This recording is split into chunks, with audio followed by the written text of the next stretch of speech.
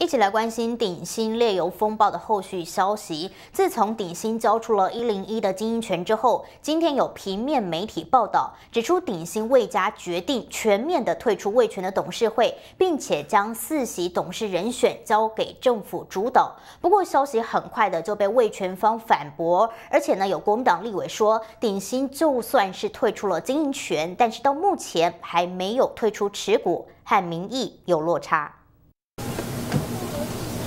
北市国小全面下架味全食品，目的在于抵制鼎新集团轮番的食安风暴。然而，今天有媒体放风声，称礼拜五魏家将全面退出味全董事会，还把手中四席董事人选交由政府主导。消息一出，激励味全股价由黑翻红，攻上涨停，但又很快遭到味全反驳。蓝营立委说：退出经营，但是不退出持股。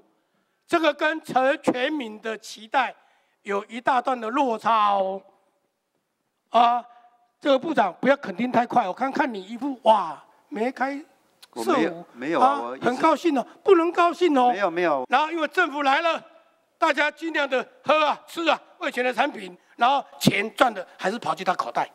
张胜阁说，鼎新退出味全市正办，但强调政府无权干涉。不过，对于鼎新退出台北一零一经营权后，会不会卖出手中股价，张胜阁已经有听闻。听说他有在询价，也有在洽询，但是不是我们了。他找什么人也不会让我们知道，都是机密的嘛。用原价卖，这个是不容易了，因为他们。这么想赚钱的人，怎么会说不赚钱来卖？张胜格说，要鼎新原价卖股不容易。鼎新持股台北一零一股权百分之三十七，其中有八成向银行贷款。目前国泰金、中信金都传出不排除接手。